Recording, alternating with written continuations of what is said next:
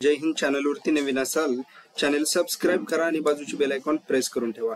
मित्रांनो या व्हिडिओमध्ये बघणार आहोत आपण की बिगिनर्स असतील किंवा बरेच काही मार्केटमध्ये नवीन आलेले असतील ते काय चुका करतात आणि पेनी स्टॉक्समध्ये कसे अडकून पडतात. आता मित्रांनो बरेच वेळा आपल्या इकडे मार्केटमध्ये वेगवेगळे व्हिडिओ येत असतील न्यूज येत असतात किंवा बऱ्याच ठिकाणी आपल्याला चर्चा ऐकायला मिळते की आता येणाऱ्या काही कालावधीमध्ये दोन हजार तीस पर्यंत मार्केटमध्ये जबरदस्त तेजी येणार आहे. सेन्सेक्स असा असा जाणार आहे. निफ्टी जबरदस्त तुफान राडा करणार आहे. आपण व्हिडिओमध्ये बघतो न्यूजमध्ये बघतो आणि हे चर्चा असते आणि ती खरी सुद्धा असते. असं नाही की मी म्हणत ती येणारी न्यूज ही खोटी असेल किंवा भविष्यात मार्केट हे वरती नाही जाणार असं सुद्धा म्हणत नाही. पण मित्रांनो बिगिनर्स कुठे फसतो? मार्केटमध्ये पेनी स्टॉक्स बऱ्याच वेळा तुम्ही बघत असाल पेनी स्टॉक्स जर बघितलं तर पेनी स्टॉक्समध्ये कसं अप्पर सर्किट लागत असतं कंटिन्यू कंटिन्यू अप्पर सर्किट लागत असतं. आता त्या बेसवरती जर तुम्ही बघितलं तर मित्रांनो मार्केटमध्ये कसं अप्पर सर्किट लागत असतं तुम्हाला माहितीच आहे.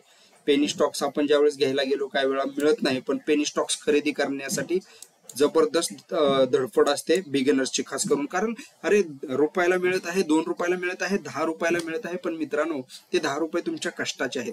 अशा स्टॉक्समध्ये जर तुम्ही घुसाल तर अडकून पडाल. पूर्णपणे डिटेल्समध्ये या व्हिडिओमध्ये आपण पूर्णपणे एज्युकेशनल पर्पज व्हिडिओ आहे आणि बरीच माहिती कव्हर करण्याचा प्रयत्न करणार आहे. व्हिडिओ पूर्णपणे बघा. स्वस्त स्टॉक्स भेटत आहे. म्हणून बरेच जण रुपयाला मिळत आहे दहा रुपयाला मिळत आहे. असं बऱ्याच जणांची आयडिया असते. अरे एकदम कवडीच्या भावानं स्वस्त मिळत आहे स्टॉक्स म्हणून काही जण खरेदी करतात.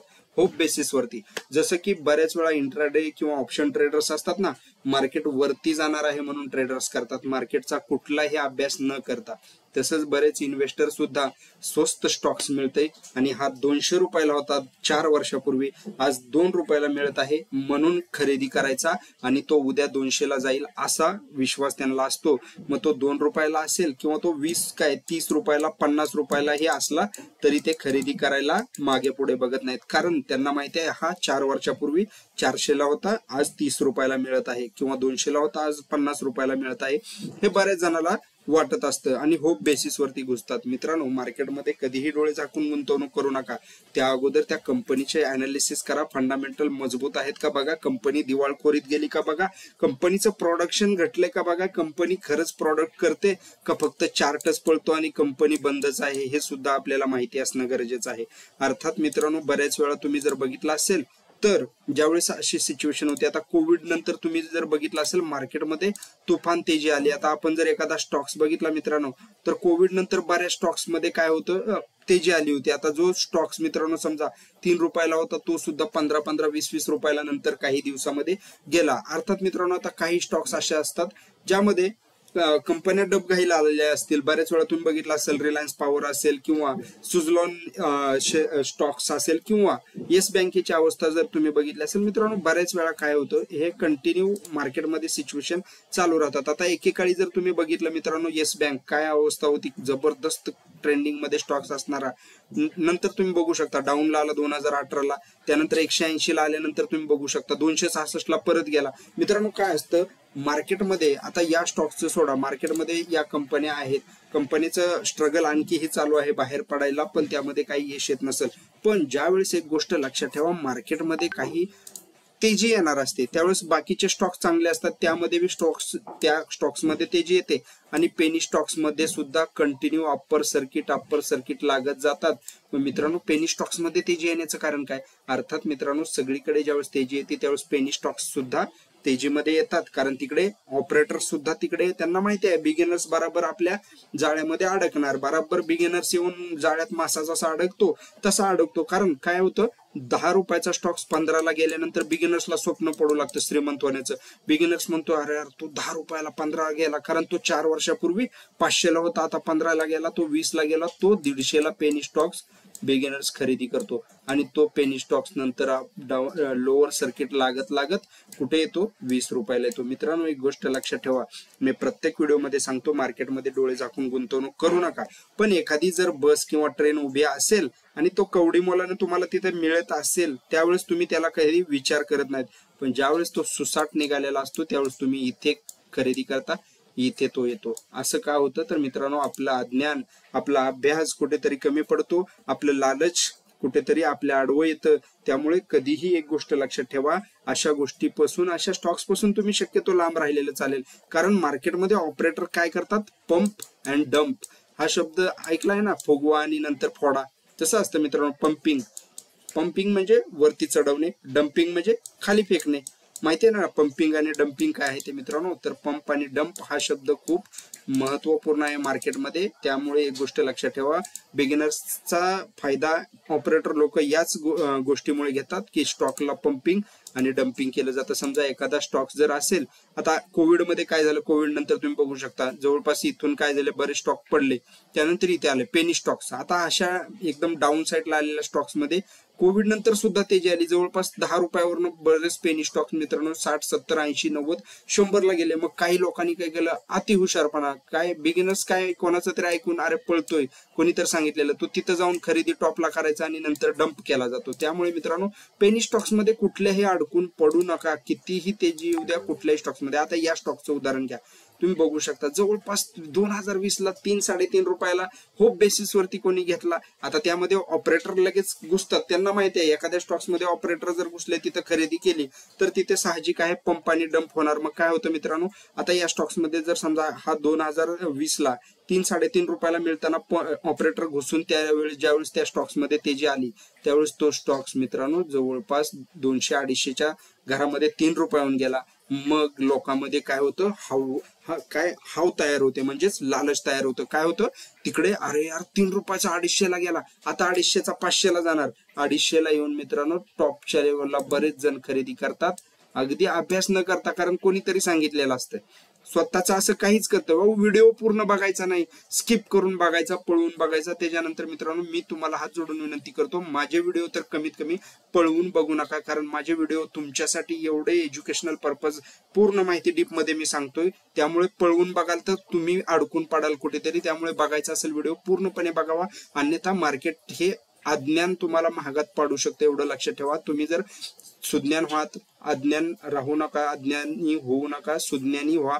कारण मार्केटमध्ये ज्ञान घेतल्याने वाढतं. तुम्ही जेवढं शिकाल तेवढं मार्केटमध्ये टिकाल. नंतर अडीचशेवर हा स्टॉक तुम्ही बघू शकता. आणि सत्तर सत्याहत्तर रुपये पन्नास साठ रुपयाला ज्यावेळेस येतो त्यावेळेस बिगिनर्स अडकून पडतात. त्यामुळे काय? मार्केटमध्ये पंपिंग आणि डम्पिंग केलं जातं. मग त्यामुळे मित्रांनो पेनी स्टॉक सुद्धा अप्पर सर्किट लागत लागत इथे जातो. आणि आपण घेतला की त्याला लोअर सर्किट लोअर सर्किट खाली लागत येतं. ते हेच कारण आहे. कारण आपण ज्यावेळेस गाडी उभा असते त्यावेळेस तिकडे लक्ष देत नाही. कंपनी काय करते त्याचा अभ्यास करत नाही.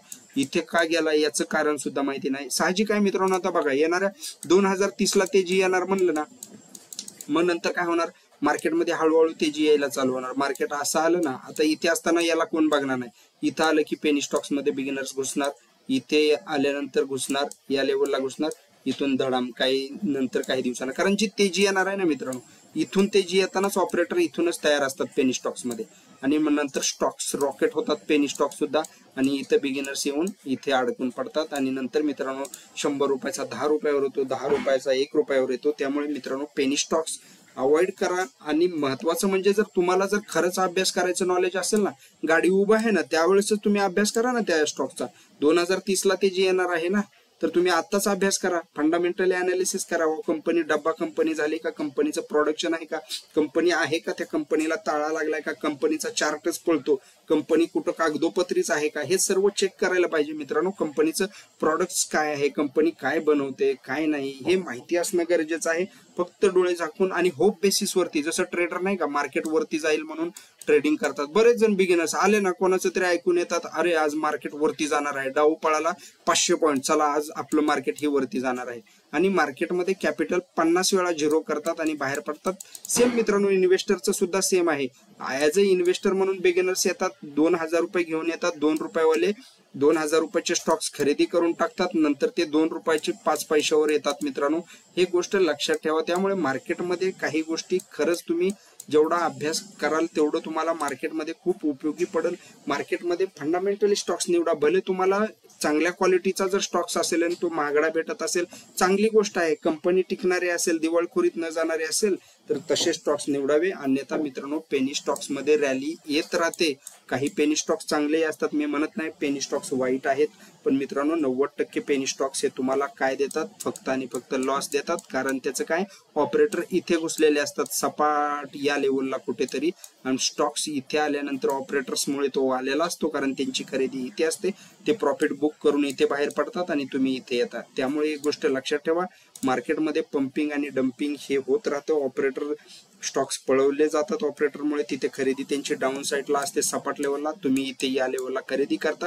त्यामुळे मार्केटमध्ये पैसा कमवणं श्रीमंत होणं ह्या तुम्ही जे स्वप्न बघून येता ना लगेच त्यामुळे बरेच बिगिनर्स आपला कष्टाचा पैसा वाया घालवतात झिरो करतात घामाचा पैसा वाया घालवतात. मित्रांनो मार्केटमध्ये टिकायचं असेल शिकलं पाहिजे. आपल्या युट्यूब चॅनलला सबस्क्राईब करा. एवढी डीपमध्ये माहिती तुम्हाला इथे माझ्यातर्फे मी देण्याचा प्रयत्न करतो. कारण एज्युकेशनल पर्पज माहिती तुमच्यासाठी पुरवणं माहिती देणं हे माझं कर्तव्य वाटतं. मला मित्रांनो माहिती आवडली असेल तर लाईक कमेंट शेअर करा. आणि कुठल्याही पेनी स्टॉक्समध्ये अडकून पडू नका. पण अनालिसिस करावं तुमच्या फायनान्शियल ऍडवायझरचा सल्ला घ्या स्वतः सुद्धा अभ्यास करा रिसर्च करा मगच गुंतवणूक करण्याचा प्रयत्न करा. कारण मार्केटमध्ये मित्रांनो पेनी स्टॉक्स हे नव्वद टक्के लॉस दहा टक्के प्रॉफिट देतात. हाय रिस्की हाय हाय व्हॉलिटिलिटी असते. जेवढे हाय रिस्क असते तेवढे मित्रांनो हाय लॉस तुम्हाला मिळणार. हाय प्रॉफिट सुद्धा मिळणार. पण पेनी स्टॉक्स शक्यतो अवॉइड करा. चांगले पेनी स्टॉक्स निवडा. महत्वाचं म्हणजे अभ्यास केल्याशिवाय कुठेही घुसू नका. आणि पंपिंग अँड डम्पिंग हे हा व्हिडिओ तुम्हाला नक्कीच समजला असेल. व्हिडिओ कसा वाटला? लाईक कमेंट शेअर करा. मनापासून व्हिडिओ बघितल्याबद्दल धन्यवाद. जय हिंद.